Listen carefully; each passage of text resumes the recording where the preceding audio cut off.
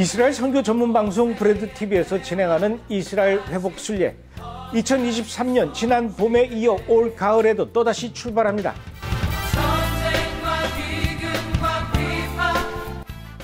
우선 2023년 11월 24일부터 12월 2일까지 8박 9일간 진행하는 올리브 코스는 예루살렘의 올리브 산과 갈릴리 호수 같은 기본적인 성지는 물론이고요.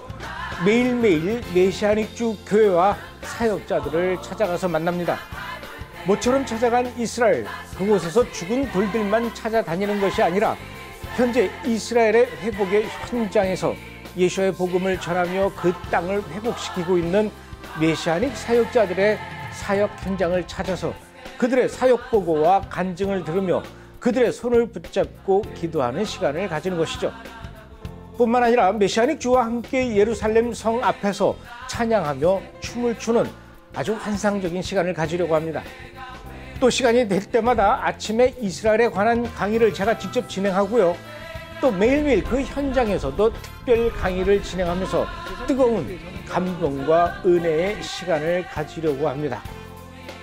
12월 1일부터 12월 9일까지 8박 9일 동안 진행하는 무화과 코스는 이스라엘의 더 특별한 경험을 기대하는 분들을 위해서 마련했는데요.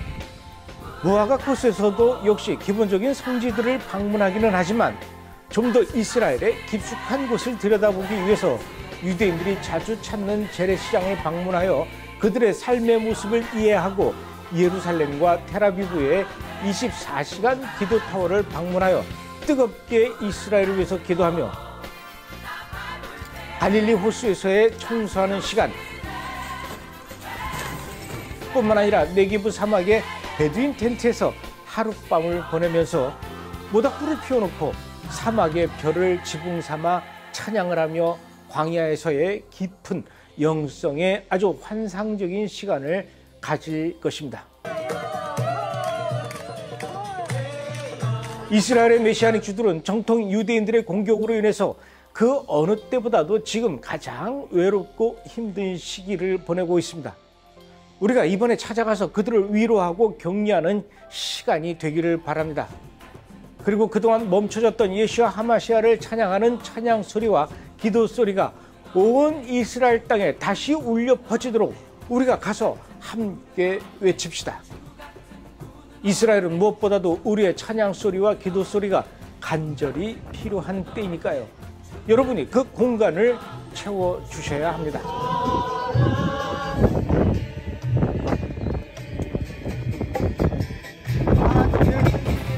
그리고 지난 3년 동안 코로나로 인해서 문이 굳게 닫혔던 이스라엘의 문이 열리면서 지금 전 세계의 순례객들이 이스라엘로 몰려들고 있습니다.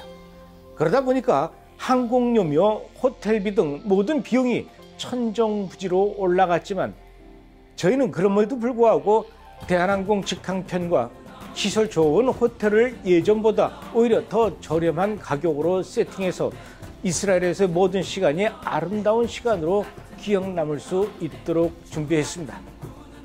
무조건 이스라엘로 가는 것만이 중요한 것이 아닙니다. 가서 무엇을 보느냐, 누구를 만나느냐가 더욱 중요한 것이죠. 그리고 더 중요한 것은 누구와 함께 가느냐가 중요합니다.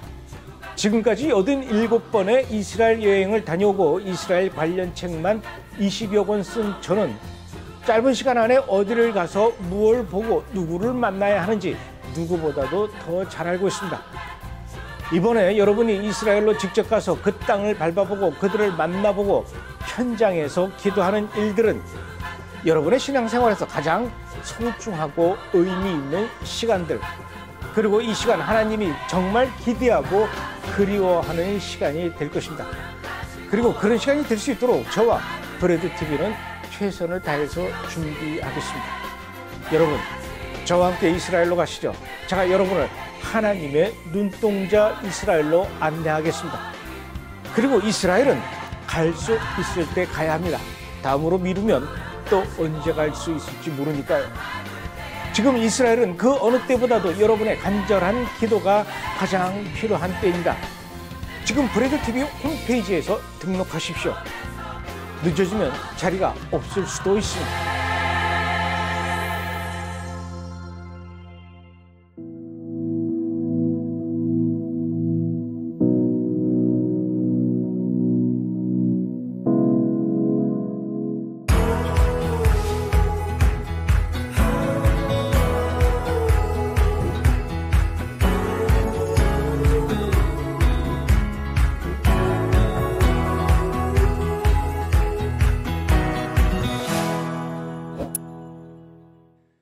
샤나토바 전 세계에 계신 브레드 TV 시청자 여러분 5784년의 새해가 지금 밝아오고 있습니다. 우리는 뭐 새해가 이제 떠오른다 또 새해가 밝게 비춘다 뭐 이렇게 표현을 하죠. 아, 그러나 이 하나님의 시간 또 성서력에서의 새해는 그 밤에서부터 시작이 되는 것을 우리가 보게 됩니다. 그래서 이번 달 15일, 그러니까 뭐 이번 주 지금 방송이 나가는 예, 그 주간 기준으로 해서요. 9월 15일 날 저녁부터 이제 5784년이 시작이 됩니다. 이틀 정도의 후보가 있는데요. 그래서 15일 저녁부터 시작해서 15, 16, 17일 히브리인들 같은 경우에는 새해가 딱 정해져 있는 것이 아니라 감춰진 날이라고 이렇게 표현을 합니다. 그래서 이 신년을 관측하기 위해서 사내들인 공의회에서 두 증인을 이제 산에 보내고요.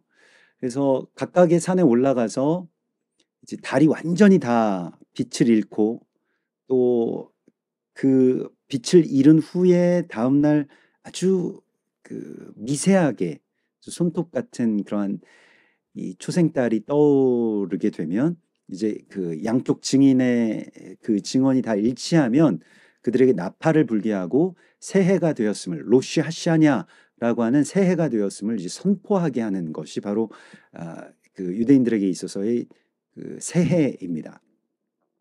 그래서 유대인들은 그 총 네 번의 아, 1월 1일 새해 첫날을 갖고 있는데요. 가장 대표적인 것이 이제 로시아시아냐가 되겠고요. 나팔절이라고 불려지는 아, 우리로 치면 이제 가을에 그 추석 전, 음, 뭐 한 추석 한 뭐 2주 전, 어, 뭐 그 정도의 시간에 이제 로시아시아냐가 있습니다. 아, 그리고 모든 시간과 또 절기의 기준점이라고 할 수 있는 시작점이라고 할 수 있는 날이 바로 6월절이죠. 그래서 이게 그 니산월이라고 불리워지는 그 6월절이 있는 그 달, 그것을 해의 첫 달로 삼으라라고 하는 그래서 그런 어떤 절기의 어, 기준점이 되는 절기력의 1월 1일이 있고요. 그리고 우리 뭐 양력에서 이제 세상 사람들이 다 통용하는 New Year, Happy New Year라고 그렇게 부르는 양력의 1월 1일도 어, 또 그 있겠죠, 당연히. 아, 그리고 ט״ו בשבט이라고 해서 그 날을 이제 나무들의 식목일, 뭐 나무들의 정월이라고 이렇게 부릅니다. 그래서 이게 이제 한 해의 어떤 기준점을 잡아야 아, 이 열매를 맺은 나무들의 11조를 하나님 앞에 드릴 수가 있기 때문에요. 그래서 11조의 어떤 기준점이 되는 한 해의 시작점을 또 ט״ו בשבט이라고 하는 어, 또 다른 절기, 또 다른 이제 그 정월로 지키는데 가장 대표적이고 가장 새해라고 부르는 예, 그러한 날이 바로 ראש השנה입니다. 그래서 שנה טובה라고 하는 Happy New Year 그 한 해가 정말 복된 한 해가 되기를 소망합니다라고 하는 그런 인사말을 주로 하고요. 뭐 그 שנה טובה 대신 또 다른 표현은 שנה מתוקה라고 하는 그러한 인사말도 있습니다. 그래서 아주 sweet한 아주 달달한 달콤한 한 해가 되기를 아, 기원합니다라고 할 때 שנה מתוקה 이렇게 인사를 하죠. 그래서 שנה טובה, שנה מתוקה 이렇게 인사를 하는 것은 일반적인 신년 인사와 비슷한데요. 근데 또 다른 한 가지의 표현이 있는데 아, 좀더 그 친밀한 사이, 또 좀 더 어떤 영적으로도 연결되어 있다. 또 뭐 심적인 어떤 그런 대화를 나누는 어, 그 정도의 관계의 상대에게는 크티바토바라고 하는 말을 합니다. 이 크티바라고 하는 것은 이제 생명책에 당신의 이름이 잘 기록되기를 아, 이러한 표현입니다. 그래서 우리에게는 그 신년이 무언가를 새로 시작한다라고 하는 그런 어, 의미를 많이 갖고 있지만 이 하나님의 시간의 이 새해는 생명의 책이 펼쳐지는 날로 그렇게 그 이해가 됩니다. 생명의 책이 펼쳐지고 그 책에 내 이름이 기록될 것이냐 아니면 기록되지 못해서 나는 천국으로 하나님의 나라의 백성이 되지 못할 것이냐라고 하는 것이 이제 결정될 수 있는 아주 결정적인 시간이 열리는 것을 로시아시아냐라고 이야기를 합니다. 그래서 이것은 마치 경고의 나팔 소리, 뭐 나팔 소리가 우리가 그 쇼파르를 불어보면 이제 그 뭔가 사이렌이 울리는 것과 같이 그런 어떤 경보음처럼 들릴 때가 있거든요. 그래서 그런 경보음이 들리는 것과 같은 예, 바로 그러한 날을 이제 이 생명책이 펼쳐지고 거기에 내 이름이 써지느냐 그렇지 않느냐가 결정되는 아주 결정적인 시간이 열린다라고 이렇게 생각을 합니다. 그리고 이것은 가을절기를 알리는 어떤 시작점인과 동시에 메시아가 이 땅 가운데 오시고 종말의 시간, 심판의 시간이 열리게 되는 것에 대한 예언적인 절기라고도 할 수가 있을 것입니다. 그래서 이 히브리인들 같은 경우에는 성경의 어떤 지혜 안에서 이 마지막 때와 처음 시작의 지점을 이렇게 교묘하게 연결시켜 놓았습니다. 이게 사실 맞물려 들어가게 되죠. 그러니까 일직선의 어떤 세계관 안에서는 처음 시작점과 마지막 점은 극과 극이죠. 그러나 성경적인 세계관 안에서는 이 둘이 마치 메비우스의 띠처럼 이렇게 연결이 되어 있습니다. 그래서 시작점과 끝점이 연결이 되어 있고요. 그래서 토라 portion의 스케줄 또한 새해가 되었음에도 불구하고 신명기서가 아직 끝나질 않았죠. 그래서 어, האזינו와 וזאת הברכה라고 하는 두 개의 토라 portion이 신년 이후에 계속 진행이 됩니다. 보통 우리가 생각할 때는 창세기 1장 1절부터 딱 로시아시아냐 신년 1월 1일에 딱 시작을 하면 깔끔하게 딱 떨어질 것 같은데 그렇게 하질 않고 연결시켜 놓았다라고 하는 것이 굉장히 중요한 의미를 갖습니다. 그래서 마지막 때를 생각하는 새해 첫날 이것이 이제 이 절기가 우리 가운데에 주는 굉장히 중요한 지혜라고 할 수가 있겠습니다. 뭐 간혹 어, 아직도 어, 뭐 저나 또그 이 이스라엘 사역하시는 뭐 브레드 TV에도 마찬가지고 이런저런 질문들 가운데 기독교인들이 꼭 절기를 지켜야 되느냐? 성경에 보면 절기는 다 폐하여졌다고 되어 있는데 왜 그렇게 구약의 절기를 우리가 기념하고 지키고 기억하고 뭐 거기에 그걸 뭐 따라 해야 되느냐? 이건 좀 그 유대교 전통 아니냐? 기독교랑은 그 기독교에서는 이런 거 금지하고 있지 않느냐? 이렇게 말씀을 하시는 분들도 있죠. 간혹 있으십니다. 그런데 뭐 그것은 우리가 오랜 그 기독교의 전통 속에서 이 절기라고 하는 것을 계속 제거하려고 하는 어떤 그런 아, 의도적인 시도가 있었고 결코 성경적이지는 않습니다. 성경에서는 우리에게 또 초대교회가 그 절기에 대해서 이렇게 그이 뭐 거부하거나 아니면 그걸 금지했다라고 하는 그러한 장면들을 찾아보기가 어렵고요. 물론 뭐 사도 바울이 그 뭐 월삭이나 1월 그 이제 어떤 절기들에 대하여서 우리가 어떤 그런 율법주의로의 회기 혹은 그것들을 지키는 것에 그냥 아주 어떤 주술적인 어떤 그런 절기 지킴에 대하여서 경고하고 있는 것만큼은 부인할 수 없는 사실이 될 것입니다. 그러나 그 절기가 그래서 무엇이라고 표현을 했냐면 이 절기는 그리스도 예수와의 그림자라고 표현을 하고 있습니다. 사도 바울은요. 그리고 그 몸은 그러니까 그 몸통은 절기의 실체는 예수 그리스도의 십자가 사건과 오순절의 성령 강림 사건과 마지막 때에 주께서 이 땅 가운데 오셔서 심판의 자리에 좌정하시고 천년 왕국을 이루실 그 마지막 때에 재림과 다 연결되어 있는 이야기라는 것입니다. 그래서 절기가 중요할까요? 중요하지 않을까요? 그래서 중요한 것입니다. 우리가 히브리인들처럼 절기의 어떤 형식을 따를 필요는 없습니다. 유대인들이 어떻게 절기를 지키는지를 살피면서 그게 그림자가 된다면 그 몸통이신 예수와의 실체를 보는데 참고할 수 있기 때문에 더 풍성하게 그리스도 예수와를 바라보고 또 기다리고 또 재림에 대한 소망을 새롭게 할 뿐이지 우리가 유대교적으로 절기를 지킨다. 뭐 유대인들이 이 절기 때 이렇게 하기 때문에 우리도 그 똑같이 해야 된다. 이러한 것은 절대로 아닙니다. 다만 절기를 통해서 다시 오실 예수와에 대한 소망을 품고 또 십자가 사건과 같은 이 과거에 2000년 전에 예수와께서 행하신 그 일들이 지금 오늘 우리의 삶과 연결될 수 있도록 하는 것. 그게 이제 절기가 우리를 부르는 그런 부르심이라고 할 수가 있겠습니다. 그래서 우리가 아, 지금도 절기를 살피고 있는 것이고요. 절기에 대해서 어, 뭐꼭 기독교인은 절기를 지켜야 된다. 절기를 지켜야만 하나님의 백성이고 하나님 나라로 들어갈 수 있다. 이것은 결코 아닙니다. 구원은 오직 예수 그리스도와 그 십자가로 말미암는 것입니다.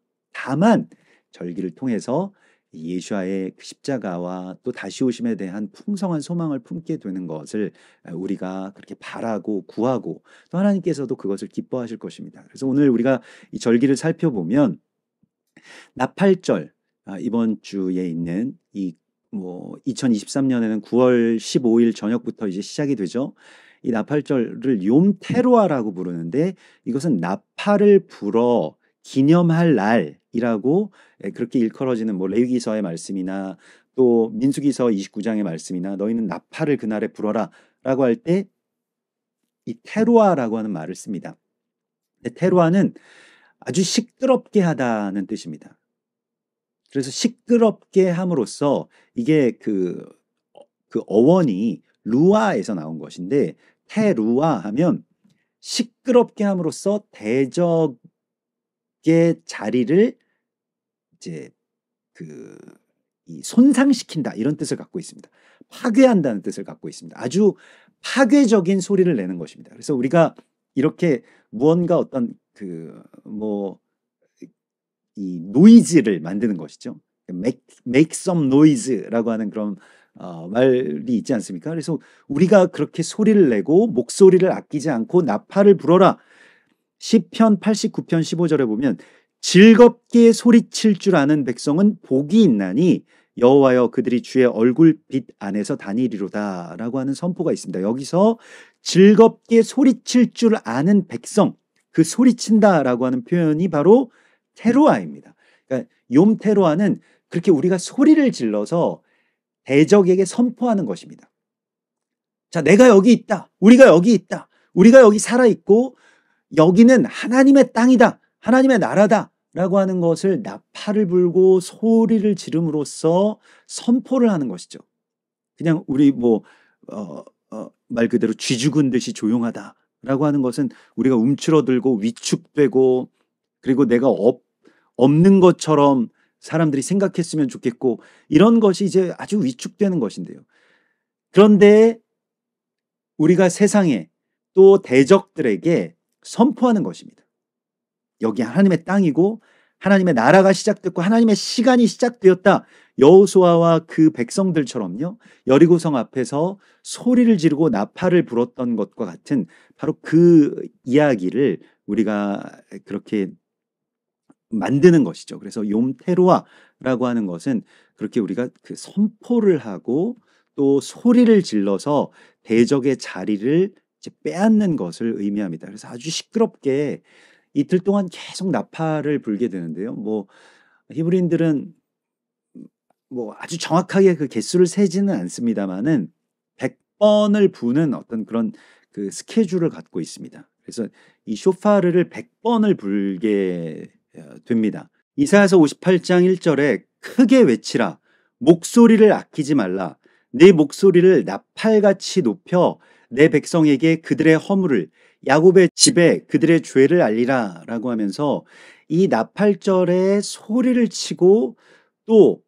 무엇을 위해서 소리를 지르는 것이냐? 대적을 무너뜨리고 쫓아내기 위해서 소리를 지르기도 하지만 전쟁이 시작되었음을 알리라는 전쟁의 소집 의 나팔 소리이기도 합니다. 고린도전서 14장 8절에서 9절을 보면 만일 나팔이 분명치 못한 소리를 내면 누가 전쟁을 예비하리요? 이와 같이 너희도 혀로서 알아듣기 쉬운 말을 하지 아니하면 그 말하는 것을 어찌 알리요? 이는 허공에다가 말하는 것이라라고 하는 그런 구절이 있습니다. 그래서 우리가 소리를 높여서 마지막 때가 되었고 심판 날이 가까웠음을 선포하는 것. 세례 요한처럼 광야에서 외치는 자의 소리가 되어서요. 또 여호수아의 군대처럼 여리고성 앞에서 우리가 목소리를 아끼지 말고 선포하는 자가 되라고 말씀을 하시고 있습니다. 그리고 우리가 신년 인사에 대해서 כתיבה טובה라고 하는 이 신년 인사가 있다는 것을 나누는데요.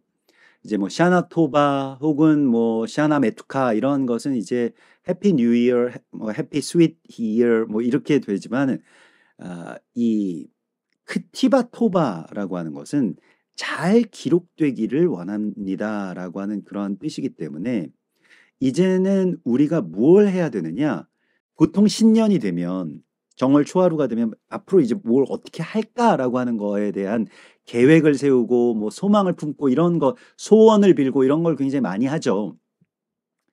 그런데 토라 안에서 또한 절기를 지키면서 새해를 맞이하는 하나님의 백성들은 어떻게 하냐면 회개부터 시작을 합니다. 회개하는 것이 새해에 가장 우선적으로 해야 되는 것이죠.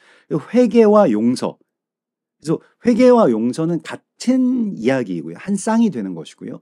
그 용서는 그냥 내가 마음으로 누굴 용서한다라고 하는 것만이 아니라 누군가에 대해서 구제하는 것, 연약한 사람들을 구제하고 돕는 것까지가 회개에 다 포함되는 이야기가 되겠습니다. 그래서 용서하고 또 용서를 받고 또 연약한 자들을 돕고 정죄로부터 그들을 보호하고 이것이 이제 우리가 해야 될 이 신년의 회개라고 말씀을 하시고 있습니다. 이걸 다급하게 하는 것이 이제 이 긴박한 이 마지막 때의 경보음이 울렸기 때문이고요. 또 다른 측면에서의 나팔 소리의 의미는 죽은 자들이 부활하는 것에 대한 부르심입니다. 데살로니가 전서 4장 16절에 보면 주께서 호령과 천사장의 소리와 하나님의 나팔로 친히 하늘로조차 강림하시리니 그리스도 안에서 죽은 자들이 먼저 일어날 것이다. 라고 말씀을 하시고 있습니다. 그 나팔이 불, 울릴 때, 나팔 소리가 울릴 때 죽은 자들의 부활이 있다라고 하는 것을 선포하고 있는 것이고요. 물론 무덤에 내려간 그 죽은 자들이 다시 일어나는 그런 부활도 우리가 생각을 하겠습니다만은 우리도 지금 살았다라고 하는 이름은 가졌으나 실상은 죽은 자로다라고 하는 그 상태에서 생명으로 이제 일어서게 되는 바로 그 날을 이제 용테루아라고 하는 것입니다. 그래서 나팔절에 우리가 죽은 자들이 일어나라라고 하는 그런 선포처럼 우리가 정말 마른 뼈처럼 그냥 세상 가운데서 아무것도 하지 않고 세상을 변화시킬 생각도 하지 않고 예수의 다시 오심에 대해서 기다리거나 선포하지 못했던 그 죽은 자와 같았던 삶에서 이제 일어나는 것이죠. 그리고 이스라엘 향해서 당신들을 향한 하나님의 계획을 하나님의 축복을 선포하고요. 또 서로를 향해서 하나님의 살아계심을 선포하고 이것이 우리가 불어야 될 나팔이라고 말씀을 하시고 있는 것입니다.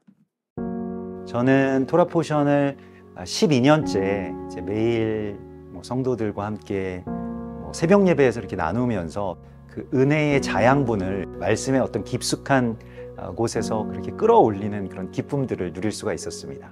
교회가 잘 어, 버티고 또 성장할 수 있는 데에 굉장히 뿌리와 같은 역할을 한 것 같습니다. 토라포션의 그 특징은 이게 지금 나의 삶과 그대로 연결되어 있다. 여기에 이런 의미가 있고 또 여기에 이런 부르심이 있고 지금 우리 삶과 또 우리 자녀들의 앞날과 연결되어 있다라고 하는 것을 이렇게 깨달으시면서 그 관점이 변화되는 것, 그러니까 뭐 일종의 세계관을 바꾸는 약이라고 할까요? 완전히 새로운 변화가 삶에서 일어난다라고. 절기나 또 계절이나 지금 이 시기에 주님께서 우리 가운데 이 말씀을 주시고 계시는구나. 몰랐던 그런 부분들 또 전에는 감추어져 있던 그 말씀의 어떤 보석들을 찾는 그런 기쁨들을 말씀이 실제가 되고 말씀에서 우리가 나오고 우리 말씀으로 돌아가고 그런 어떤 연결들이 있는 것 같아서 재밌기도 하고 감사한 마음입니다.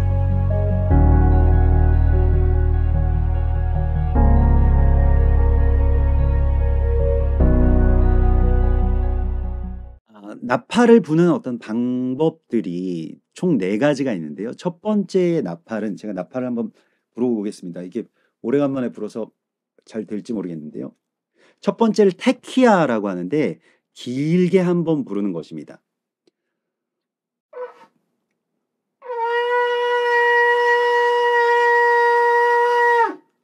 이렇게요. 길게.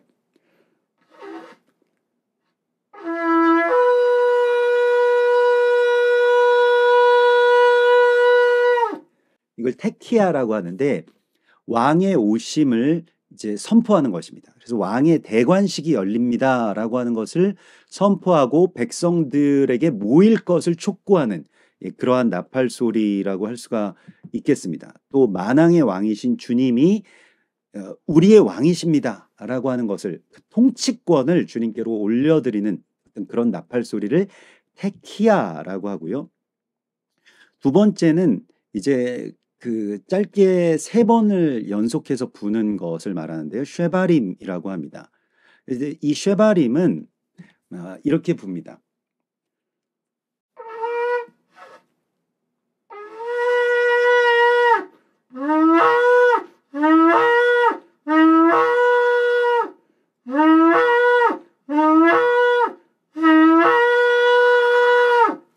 이게 이제 쉐바림인데요. 이 쉐바림에 대해서는 어머니가 그 자식을 위해서 울부짖는 소리라고 일컬어져 있습니다. 이게 이제 회개고요. 또 어머니의 어떤 그러한 눈물, 탄식, 이 사사기서 5장 28절에 보면요. 그 대적의 군대 장관인 시스라가 죽죠. 그리고 시스라의 어머니가 한 번도 아들이 그 전쟁터에서 어, 소식이 끊긴 적이 없는데 돌아오지 않는 것에 대하여서 울기 시작합니다. 그 구절을 히브리인들이 선포하면서요. 자식을 위해서 울부짖는 그 어머니의 울부짖음. 그래서 잘못된 자식, 자녀가 있다면 그 자녀를 위해서 어머니가 울어야 되지 않겠느냐. 이것이 회개라는 것입니다. 회개는 여러분 회개는요. 당사자가 할 수 있는 경우가 거의 없습니다. 당사자가 아닌 회개를 할 수 있으면 아, 애시당초 죄를 짓지 않, 않았을 테죠. 근데 회개를 정작 회개를 해야 되는 사람들은요. 회개를 할 힘이 없습니다. 그래서 어떻게 해야 되느냐? 엄마가 대신 울어주는 것입니다. 교회는 그 어머니의 역할을 해야 되는 것이고요. 누가복음 23장 28절에 예수께서 돌이켜 그들을 향하여 이르시되 예루살렘의 딸들아 나를 위하여 울지 말고 너희와 너희의 자녀를 위하여 울라 이렇게 말씀을 하십니다. 이 쉐바림은 어, 마음이 부서지다라고 하는 뜻을 갖고 있는 이 샤바르의 복수형이고요. 부서진 마음으로 또 애통한 마음으로 흐느껴 우는 어머니의 그 눈물의 기도와 같은 회개를 우리에게 촉구하고 있습니다. 교회가 이 회개를 회복해야 됩니다. 이 쉐바름의 회개를 그 회복해야 되는 것이고요.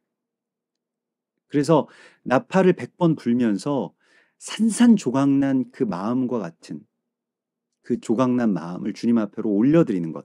이게 이제 쉐바림의 그 짧게 끊어서 세 번 부르는 이런 울부짖음이라고 할 수가 있겠고요.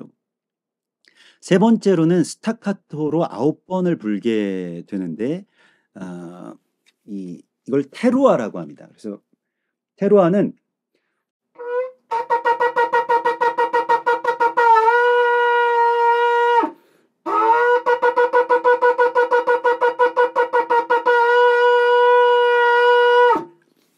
이런 식으로 마치 자동차 그 경적 울리는 것과 같이요.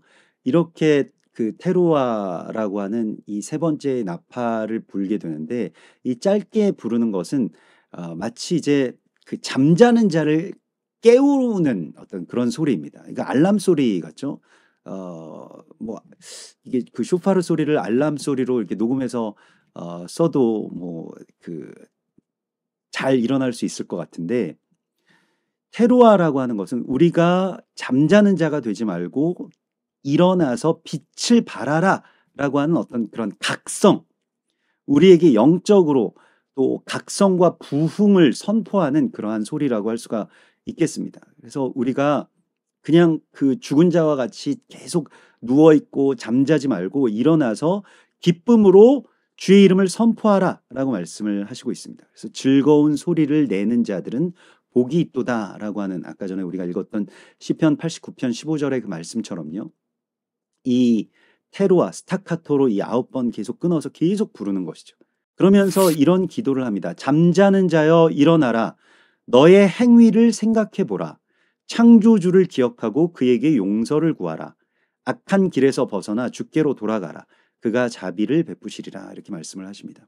나팔절을 새해의 첫 그 신년으로 시작하는 이유는 어, 이 히브리인들이 성경을 연구하면서 이 나팔절 절기와 창조의 시작점이 같다라고 하는 것을 그래서 하나님께 세상을 창조하시고 사람을 창조하시는 그 시작점이 바로 나팔절과 연결되어 있다라고 하는 것을 이제 뭐 성서력과 여러 가지 이 말씀들을 종합해서 그렇게 이제 결론을 지었기 때문입니다.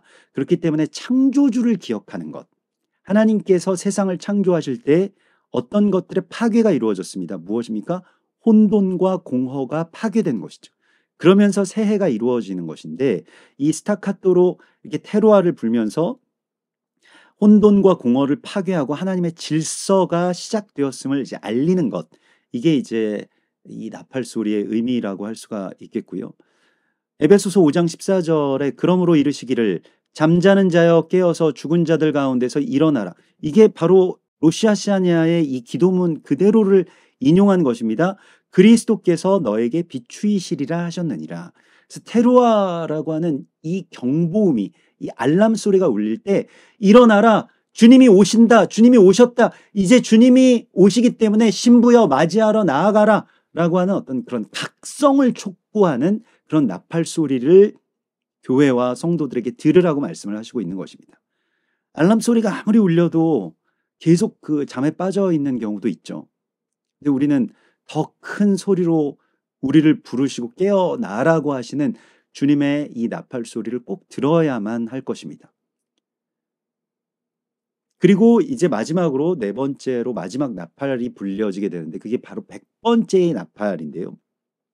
뭐 이걸 내가 나팔을 몇 번 불었는지 다 세기는 참 어렵습니다만 그러나 뭐 이거 그 부는 공식대로 이게 불게 되면 백 번째가 될 때 테키아 하가돌이라고 해서 이 테키아 뭐 하가돌 테키아 그돌라라고 해서 아주 큰 나팔 소리를 의미합니다. 이 가돌이라고 하는 것은 아주 크다, great라고 하는 그런 뜻을 갖고 있죠. 그래서 이 아주 큰 나팔을 최대한 숨을 들이마셔서 길게 부는 것을 말합니다.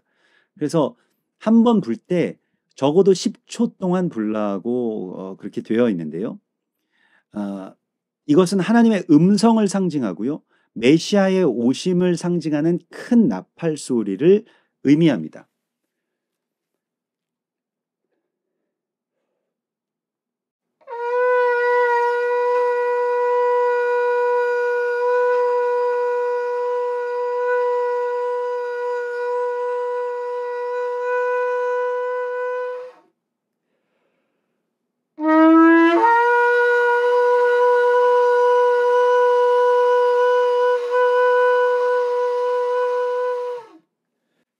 호흡이 다할 때까지 모든 호흡을 다 쏟아내는 이 나팔 소리로 아, 이렇게 메시아의 오심을 선포하는 것이고요.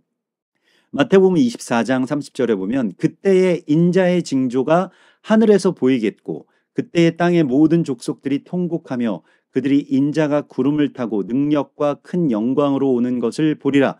그가 큰 나팔 소리와 함께 천사들을 보내리니 그들이 그의 택하신 자들을 하늘 이 끝에서 저 끝까지 사방에서 모으리라 이렇게 말씀을 하십니다. 그래서 이 네 나팔 소리. 처음에 길게 한번. 두 번째로는 그 이 짧게 세 번.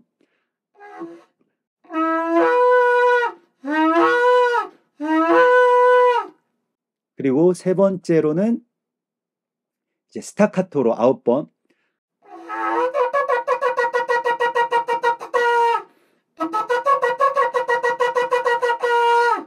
그리고 마지막 하가돌 길게.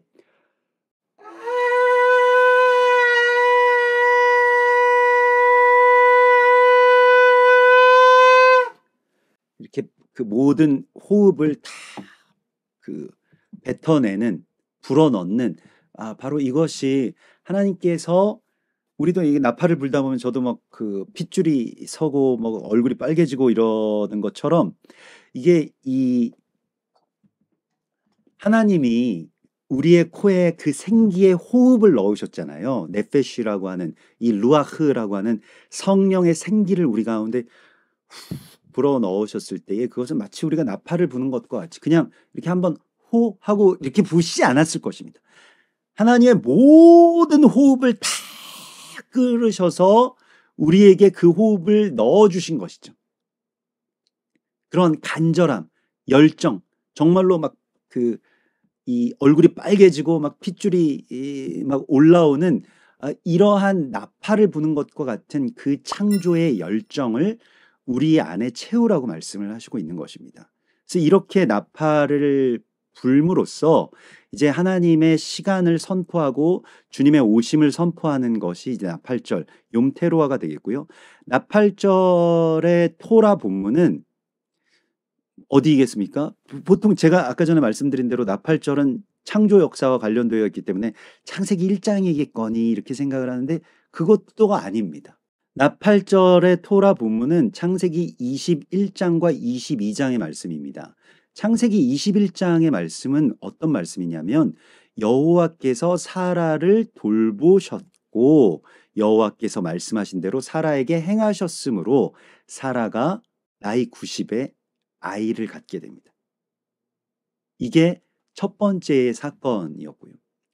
하나님께서 계획하시고 돌보셨기 때문에 시간의 주권이 자, 우리가 생각할 때 나는 이제 아이를 낳지 못한다. 이제 내 때는 다 끝났다. 여러분들도 그렇게 생각하시는 경우가 있을 겁니다. 난 이제 나이 너무 많이 들었어. 뭐 이제는 아휴, 내가 뭘 새로 뭘 하겠어. 이런 사라와 같은 생각을 많이들 하실 것입니다. 그래서 현실적인 어떤 이제 모색을 하시고 아, 그냥 뭐 노후 준비나 좀 잘해야지 뭐 이렇게 생각하면서 살아가시는 분들도 분명히 있으실 테죠.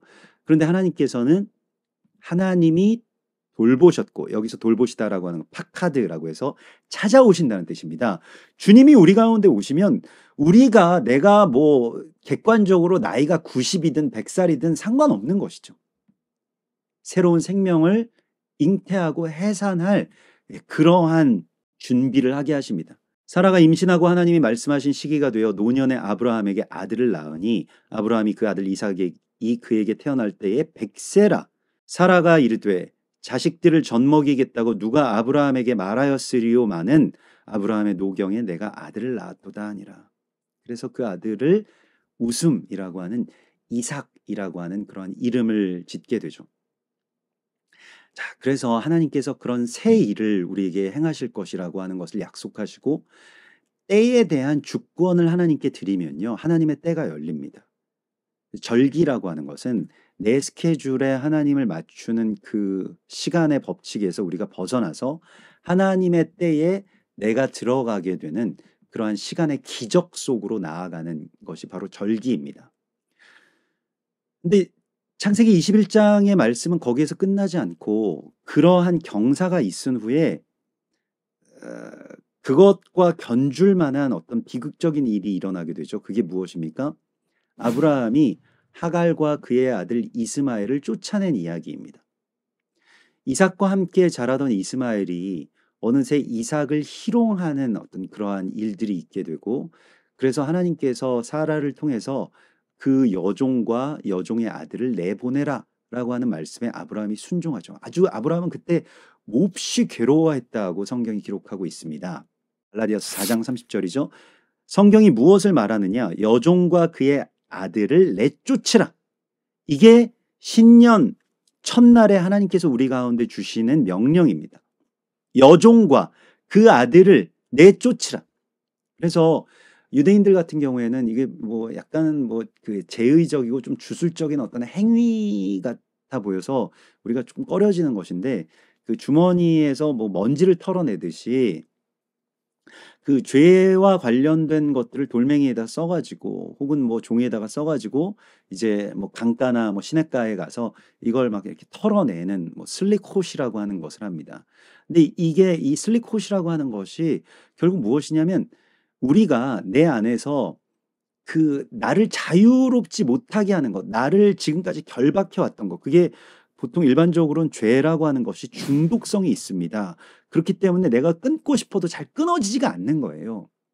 그걸 내보내지지가 않는 것입니다. 내가 어느새 애착 관계가 형성되어 있고 이게 하나님의 뜻이 아니고 그냥 나의 어떤 욕망과 나의 현실에서 이러한 것들이 내 안에 들어오게 되었는데 죄가 어느새 자리 잡고 있는 죄와 죄의 습성들은요 쫓아내기가 정말로 괴롭습니다. 아브라함이 이스마엘을 쫓아내는 것과 같은 그 엄청난 괴로움들이 이 회개의 시간 가운데 우리 가운데 있는 것이죠. 그렇기 때문에 이 올해의 5784년 이 신년에도 주님께서 우리에게 동일하게 말씀하십니다. 너희 안에 있는 너희 깊숙한 곳에 있는 죄를 털어내라. 그래야 새롭게 시작할 수 있는 것입니다. 같이 갈 수는 없는 거예요. 어찌 그 모든 것을 같이 가지고 갈겠느냐. 한 사람이 두 주인을 섬길 수가 없고요. 한 아버지가 두 아들을 그렇게 사랑할 수 없다라고 말씀하십니다. 그래서 여종의 아들 언약이 아닌 자를 내보내라라고 말씀을 하시고 있는 것입니다. 그게 우리가 내 안에서 이제껏 키워왔고 이제껏 정들었던 그 죄의 습성들을 내보내는 그 참된 회개를 이루라고 말씀을 하십니다. 그게 창세기 21장의 말씀이고요. 그 다음 장의 말씀이 바로 아케다의 말씀입니다. 이 아케다는 아브라함이 하나님께서 너의 독자, 네가 사랑하는 그 아들 이삭을 데리고 모리아산에 올라가서 그 아들을 내게 바치라 라고 하는 그 명령에 순종한 사건이죠. 그걸 아케다라고 하는데 히브리인들은 아케다라고 하는 것이 오늘 이제 창세기 22장 본문에도 나옵니다마는 묶는다는 뜻입니다. 서로 묶는다라고 하는 뜻이고요. 성경에 딱 두 번 나오는 단어입니다. 그러나 굉장히 중요한 단어이고요. 그래서 히브리인들 같은 경우에는 이 아케다라고 하는 말을 욤테로아라고 하는 말과 함께 씁니다. 그러니까 신년 그 정월 1일을 욤테로아라고도 부르고 뭐 욤하키두신이라고도 부르고요. 뭐 여러 이름들이 있지만은 욤 아케다라고 하는 이름으로 부릅니다. 묶는 날이라는 뜻입니다. 누구를 묶는 것인가요? 자기가 사랑하는 아들 이삭을 재단에 묶는 날, 그걸 아케다라고 부르는데요. 이게 단순한 그러한 사건이 아니죠. 그리고 우리가 제일 어, 나의 어떤 생각과 의지와 믿음으로는 할 수 없겠다라고 생각되는 바로 그 지점입니다. 근데 그리로 하나님께서 우리를 부르고 계신 것입니다. 이 모리아산은 훗날에 이제 신약에 가면 골고다라고 하는 예, 그러한 그 이름으로 불리우게 되는 바로 그 지점입니다. 모리아산으로 아브라함이 이삭을 데리고 올라가서 재단에 이삭을 묶는 그 장면은요. 예수와께서 십자가를 지시고 십자가에 달리시는 그 사건과 그대로 일치하는 사건입니다. 그래서 이 묶는다라고 하는 이 아케다라고 하는 것이요. 그냥 아들 이, 그 이삭 어린 아이를 데리고 가서 힘센 그 어른이 그냥 자기 완력으로 이렇게 결박하고 이런 일이 절대로 아닙니다. 이 시간적인 정황으로 살펴보자면 이 아브라함은 100세의 아들을 낳았잖아요. 그리고 이제 아들이 이 그 이 나무 짐과 그런 것들을 짊어지고 산으로 오르고 아버지는 겨우겨우 숨차하면서 이제 오르게 됩니다. 그래서 100세 넘은 노인이 한 20세 가량이 되는 건장한 아들 이삭과 함께 산에 오르는 이야기이죠. 그러면 묶으면 누가 묶을 수가 있겠습니까?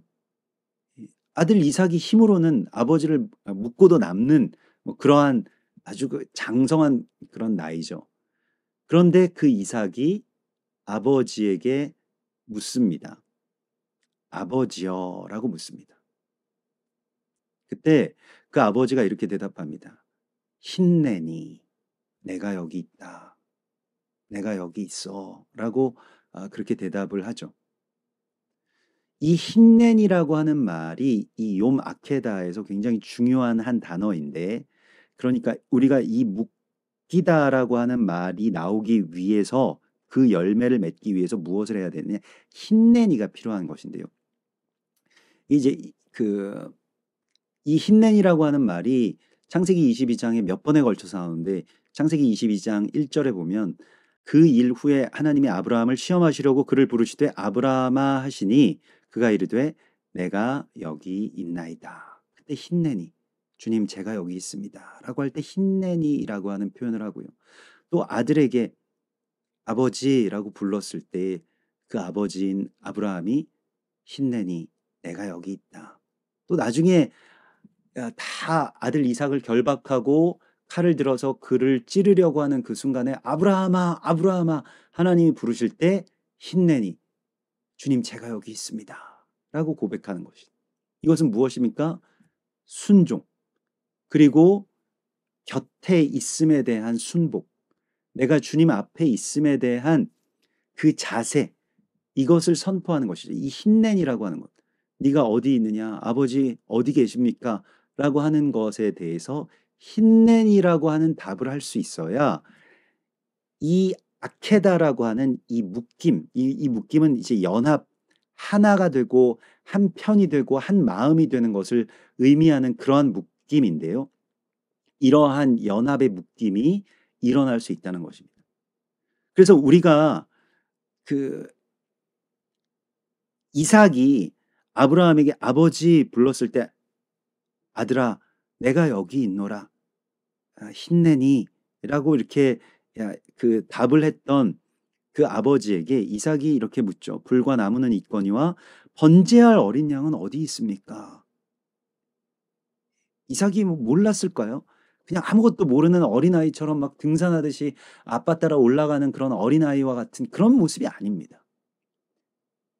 네, 아브라함이 내 아들아 번제할 어린 양은 하나님이 자기를 위하여 친히 준비하시리라. 그렇게 말했을 때 말도 안 됩니다. 우리도 이제 그 젊은 세대 자녀 세대가 아, 아비들에게 갖는 아비들의 뭐 어떤 믿음과 또 소망과 여러 가지 어떤 아, 당신들이 갖고 계신 어떤 생각들에 대하여서 무시하는 어떤 그러한 아주 그 좋지 못한 습성들도 있죠.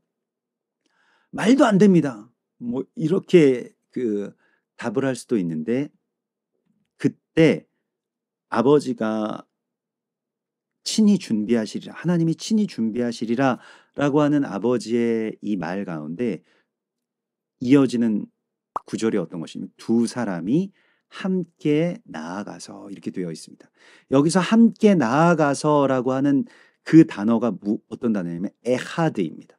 에하드, 야하드. 이게 한 마음으로 일심으로 그래서 우리가 한 세 사람 할 때도 이게 에하드 하다샤 아담 이렇게 되는 것이거든요. 한 세 사람. 그래서 이 에하드는 하나가 된 둘이 마음이 하나가 되었다라고 하는 것입니다. 그때 세대와 세대가 아버지의 마음과 자녀의 마음이 서로에게로 돌이켜졌죠. 연합되고요. 그래서 아버지가 아주 늙은 그 노인 100세가 훌쩍 넘은 이제 이 세상을 떠날 시각이 얼마 남지 않은 그 늙은 노인이 숨을 몰아쉬면서 조용히 그리고 손을 떨면서 아들의 몸을 묶을 때에 아들은 순종했습니다. 근데 거기에서 하나됨이 있었던 것이죠. 그때 어떤 묶임이 일어나게 되냐면 아버지 하나님과 아브라함의 묶임이 일어나게 되고 그래서 하나님의 아버지의 마음과 아브라함의 마음이 연결되고요. 또 그때에 그 아들로서 순종하신 예수아와 그 재단에 말없이 묶임을 당했던 이삭이 연결되게 되죠. 그게 바로 요 마케다입니다. 하나님 아버지의 마음과 그 아들의 순종이 우리의 삶과 연결되는 것. 그게 바로 하나님께서 우리에게 이 새해 첫날에 하라고 하시는 그러한 명령입니다. 그때에 주께서 친히 준비하신 여호와 이레의 하나님을 만나게 되는데 순양의 뿔이 가시 덤불 사이에 걸려 있는 것을 보게 되죠. 가시 면류관을 쓰실 예수와의 그 예표 그림자가 그곳에서 보입니다. 그리고 그 순양의 뿔이 바로 이 쇼파르인 것이죠. 쇼파르는 순양의 뿔로 만들게 되어 있습니다. 그리고 쇼파르라고 하는 이름 대신 그 요벨이라고 하는 말로도 불리워지는데요. 그 요벨에서 나온 말이 주빌리, 희년이라는 그런 뜻입니다. 그리고 여호수아와 그의 군대가 여리고성을 무너뜨릴 때에도 이 요벨을 불렀더라라고 되어 있죠. 그래서 우리가 서로에게로 마음을 묻고 연합하고 하나님 아버지와 내 마음이 연결되고 또 세대와 세대가 서로 연결되고 또 아비와 같은 이스라엘과 또 연합할 그 정말로 이삭과 같이 장성한 이 이방의 교회가 서로에게로 마음을 돌이키고 또 자신을 희생하고 헌신하고 신뢰하고 이것을 통해서 하나님의 시간이 열리게 될 것을 주께서 말씀을 하시고 있는 것입니다.